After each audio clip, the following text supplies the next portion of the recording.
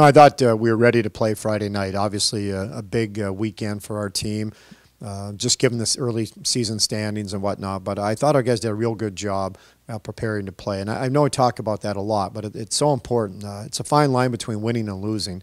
And it's so important that you get yourself prepared to play and uh, have the energy and just a mental preparation going into the weekend. But I thought we were ready to play Friday.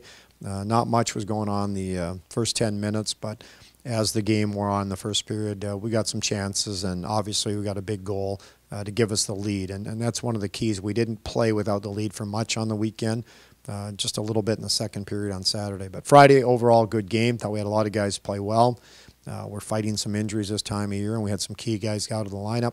And I really liked how the uh, other guys came in and, and picked up the slack. Yeah, Saturday, uh, you know, similar to um, Friday's game, you know, I thought we got off to a good start. We got a a power play goal early, um, got us the lead, and uh, and then it was uh, an even game from that point on. Uh, you know, through most of the second period. What I liked about our game Friday, Saturday night is obviously our, our penalty killing again. Um, you know, we, we got behind 2 1 for the first time all weekend in the second period, and they had some opportunities. I think they had uh, four power plays in the second period, and, and they had a chance to extend their lead. I thought that was a real key time um, on in Saturday's game is our killers did a great job and not allowing them to get that two goal lead.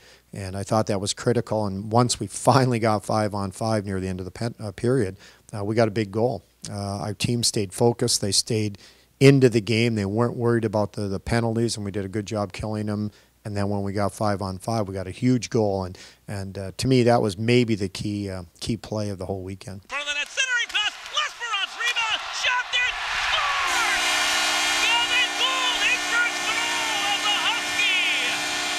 You know, Gavin Gould's been a, a, a good player, uh, you know, last few years in junior hockey.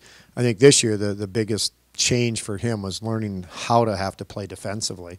And not that he didn't in junior hockey, but uh, here, you know, every goal is so important and you're not you, goals are hard to come by, so you, you can't give them up as easily. And I thought last weekend at Michigan State, uh, Gavin struggled a little bit uh, with the whole game, the grittiness, the defensive play.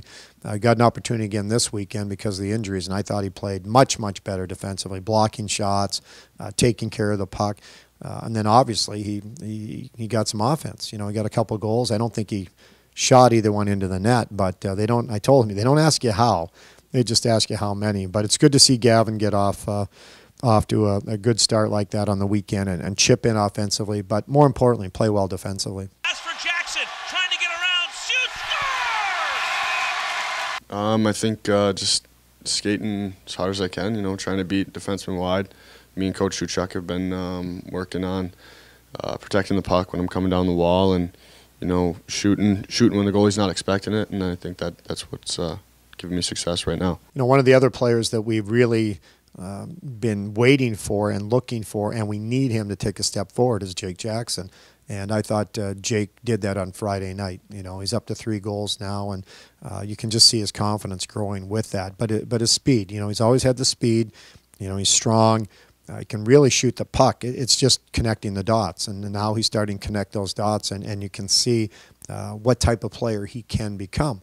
Uh, he's got to start working now on consistency and, and doing that every night, not just once in a while and putting games back to back. And I think he'll do that. And like I said, we need him to get going. And, and what I like now is we're getting scoring from a lot of different areas. Uh, you know, Heinonen's got three, L'Esperance's got four, Lucchini's got four, Jackson's got three.